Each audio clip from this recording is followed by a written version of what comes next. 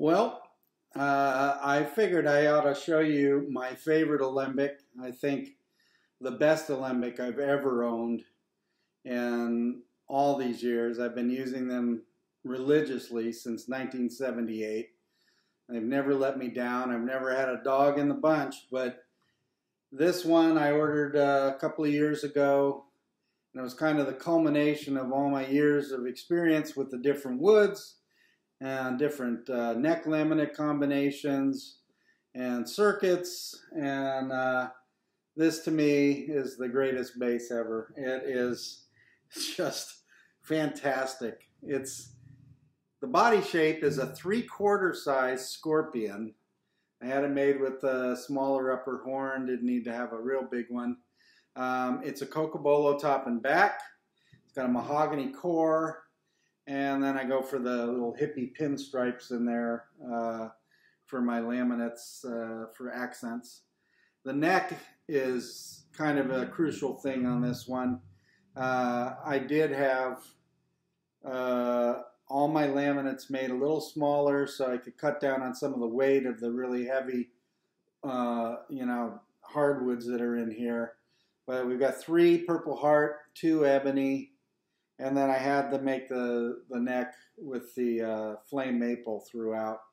So it's a beautiful neck. It's a, a, great wood combination for, for tone and for sustain, and it still keeps it relatively light.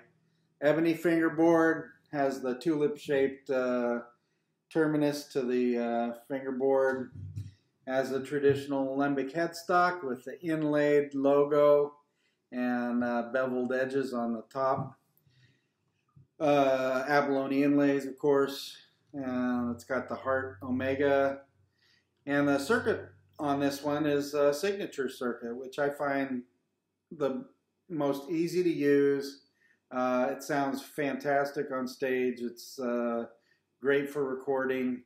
And it's basically just a volume, pan, and uh, two uh, tones with your two Q switches. And of course, I've got my green LEDs. I like the green because uh, uh, some of the other colors can be a bit blinding uh, if you're coming out on a dark stage and there's absolutely no light. Uh, blue, for example, can be really distracting uh, while you're playing. So I find the green to be easier on the eyes and still very visible for use uh, in the dark.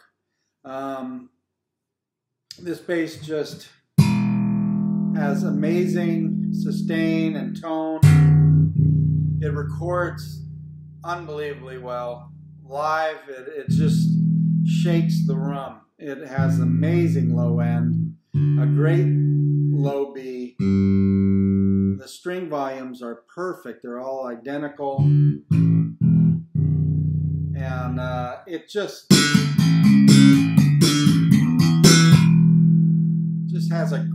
fundamental, great uh, slap tone, but you know I can duplicate the sound of many different instruments if I want to get kind of a Jaco thing going.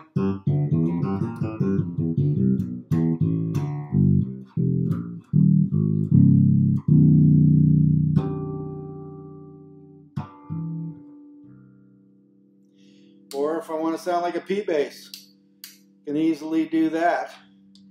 Roll up, get a little bit.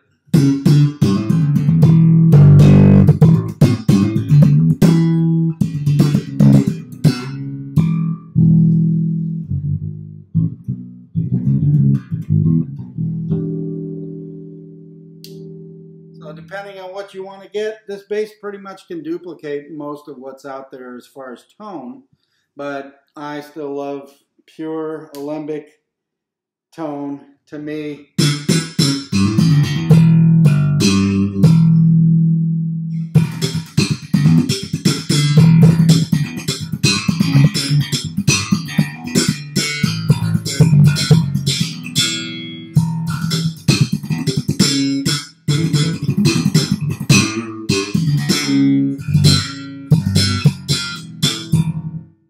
great tone,